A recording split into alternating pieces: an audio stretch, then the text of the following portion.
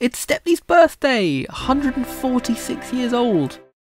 Dermatologists hate him. It's been more than two years since I made this video, so you know what that means. Here's a continued history of Stepney the Bluebell engine. The loco has been sitting in the steamworks at Sheffield Park, waiting for the pandemic to pass. Moving on, I promised I'd talk about the bundle of Terrier models that I have or have had, so let's do that. Now that there's two new highly detailed models on the market, the old Hornby Dapol tooling ones have become less favoured, but cheaper and easier to find. So here's some modifications I've done to mine that you may want to do as well, as a cheaper alternative to the newer ones. My first Terrier was not actually Stepney, shockingly, but no matter what engine it is, there are some quick paint touch-ups you can do to correct the factory defaults. I've painted the safety valves and whistles on mine in a brass colour, and the handrails on the cab sides could be painted in a polished silver. If you want it to be an extra polished engine, then you could also do this to the handrails on the boiler and the smokebox door, as well as on the hinges if you really want to be fancy. To show that it's a hard working engine, paint the buffers in silver or grey as well, then dab a patch of black paint to show where they've been pressed together.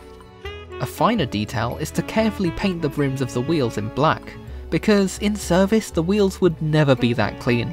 But you still want to keep the bare metal on the bottom of the wheels so that it keeps connectivity with the rails.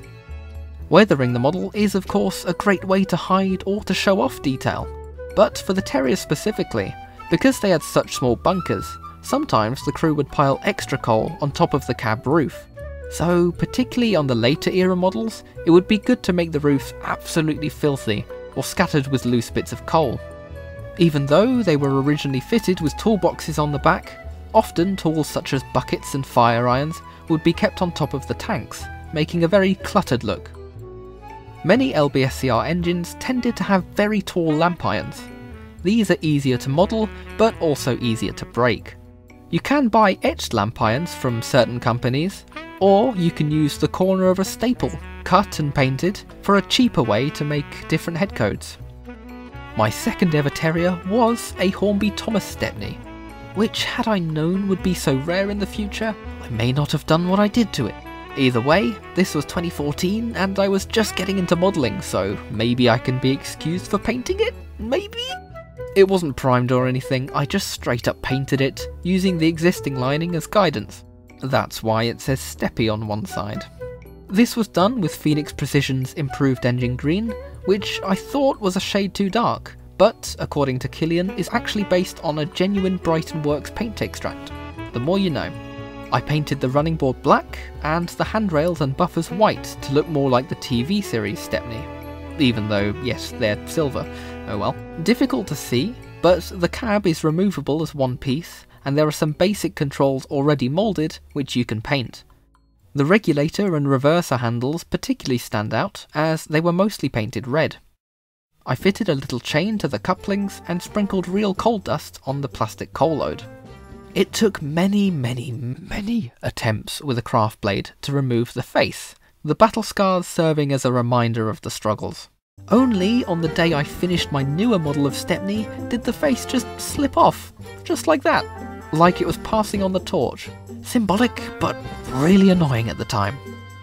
My newer Stepney isn't actually Stepney, it's Piccadilly, which was modified in 2017.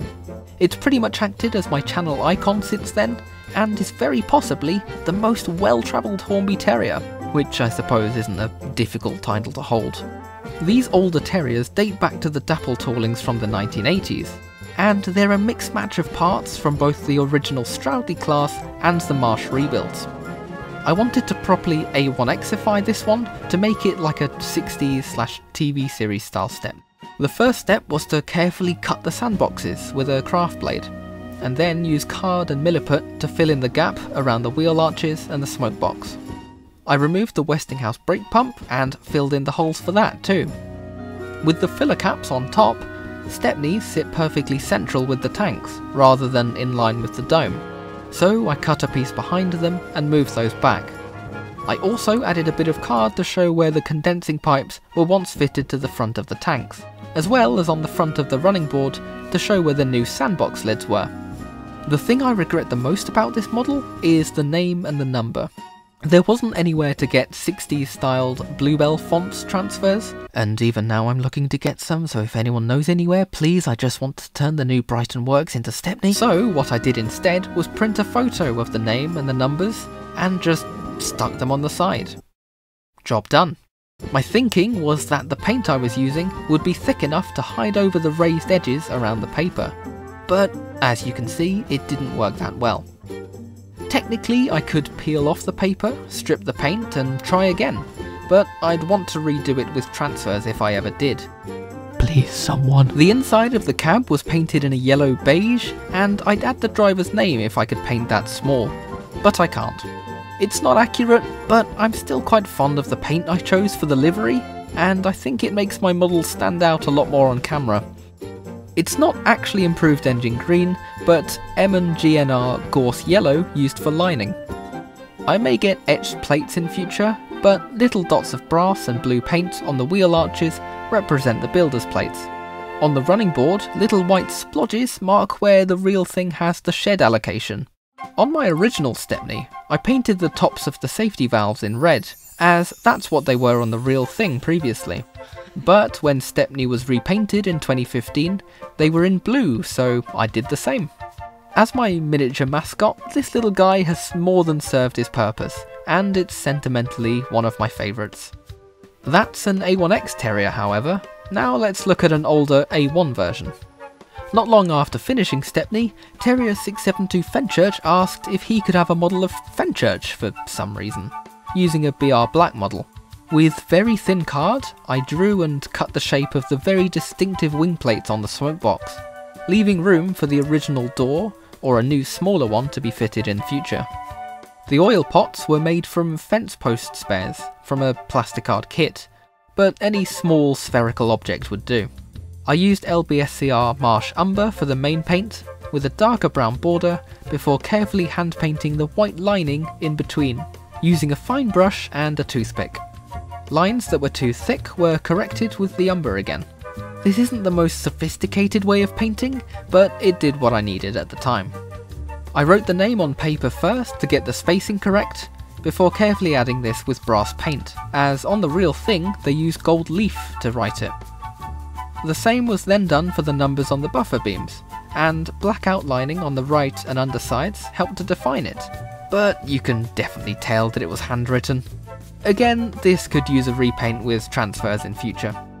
The models usually come with a little extra bag of detail parts, and I used the condenser pipes provided to go between the tanks and the smoke box. Harry then added etched number and works plates from Narrow Planet, and a face for when it acts as his own channel mascot. Now for a model that I haven't revealed before, so get ready. But I made it in 2019, so it's hardly new, and it's one that I'll explain a bit more about in times to come.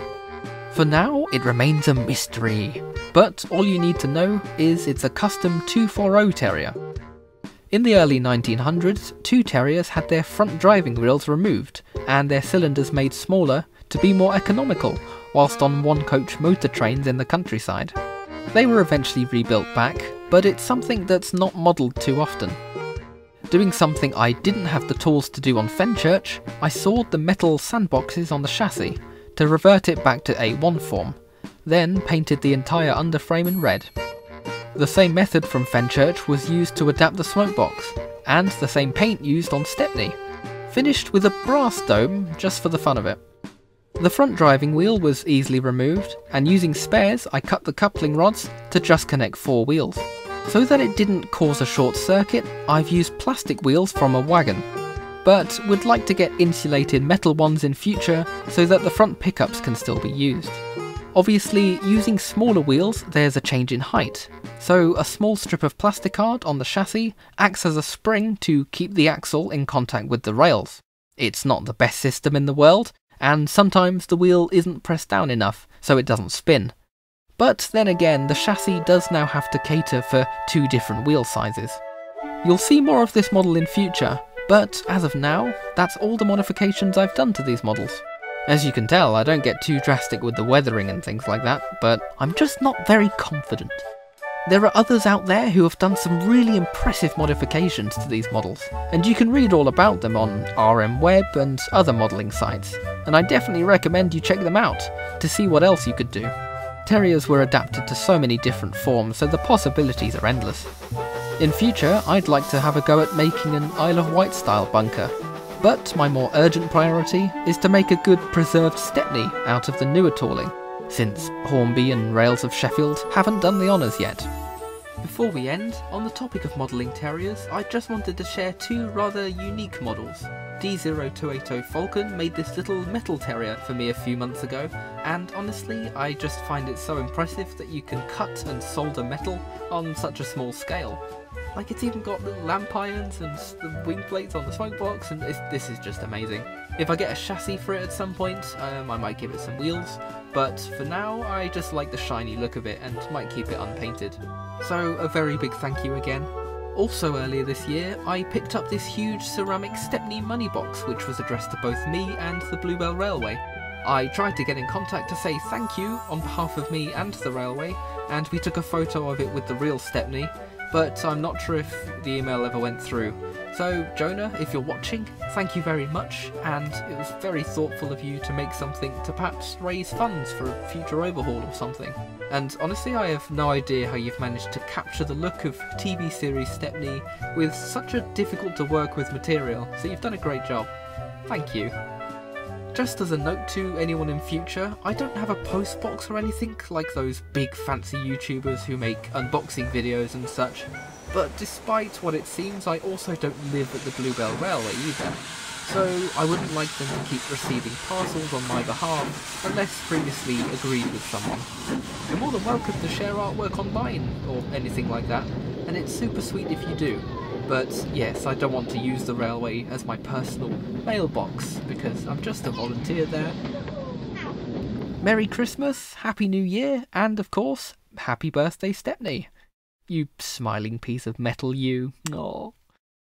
Thank you to all of my brilliant patrons Alex Goodman, GBH Train, Donald 9 and Douglas 10, D0280 Falcon, Sean Tempest, Kildane's Coven, Nat, Sam Bennett, Alco, and Henry Forrester.